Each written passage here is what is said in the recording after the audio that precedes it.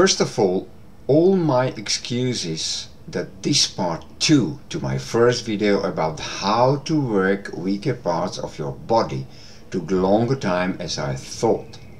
I rather prefer sometimes to have a delay with my videos as speaking long minutes about nothing. In this part 2 to the list of 10 points how to work the weak parts of your body I am giving you the remaining 5 advices from the top 10 priority list. The last video contained 5 points so I start here with the next coming uh, points. Point 6 heavy reps. Sometimes you just need to put the accent on the weight and punish a weak point. Load the bar with more weight than you are accustomed to do and go down to maybe only 4 reps on some sets. Sometimes a weak point needs to feel a heavier load to get better. Of course, you want to perform these reps with utmost form and safety. Heavier reps will do little for muscle mass gain, but the strength side effect will enable you to lift heavier when you return to your normal routine. Point 7 high reps. Sometimes a weak point needs to be pumped with some high reps. Not just 15, 20, but from 25 to 50 reps. This is especially effective for lower body training as legs. Also this technique gives you the opportunity to create those strong nerve innervations and develop more of the mind to muscle connection. Try doing, for example, two sets of 30 reps or so and at the end of a normal routine. For example, for calves, do your regular routine and then jump on a leg press machine and rep out. Using a machine, especially one where you sit, will ensure you will not have any balance issues. If you find yourself getting tired in the middle of your set, rest in the bottom position for a count of 5 or 10 and then continue again. Try to focus on the burn and blast of the muscle. Point 8. Partials.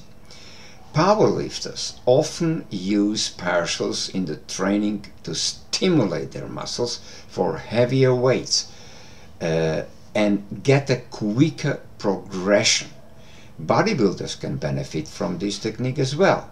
Simply use a partial movement after you have reached failure on the full range of motion. This partial movement can be performed at the bottom, top or middle of the movement. What are partial reps in practice?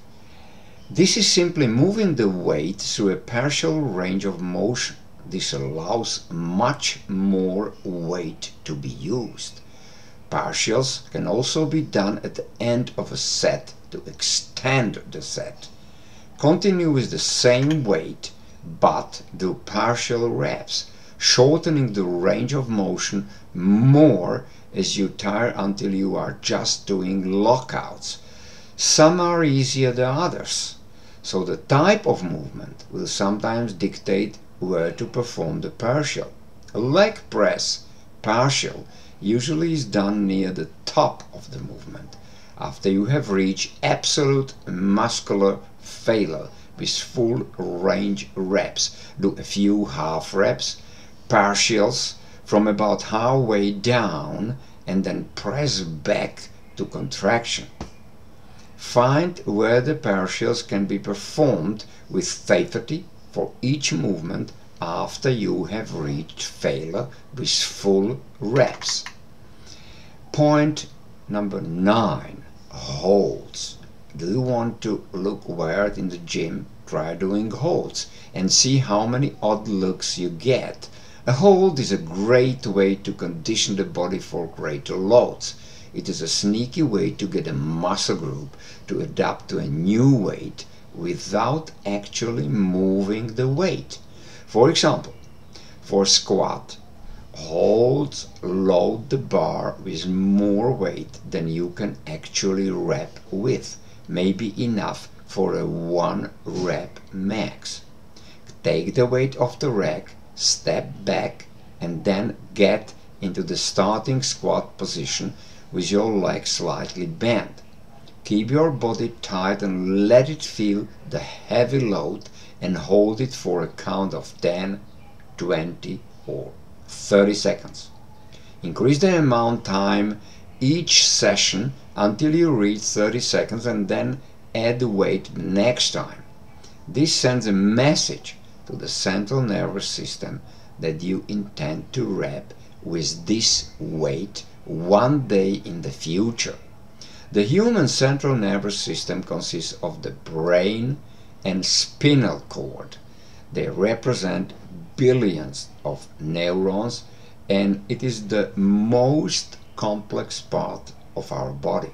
Neurons of the central nervous system affects our mental activity, while spinal extension of central nervous system affects the skeletal muscles and organs in the body.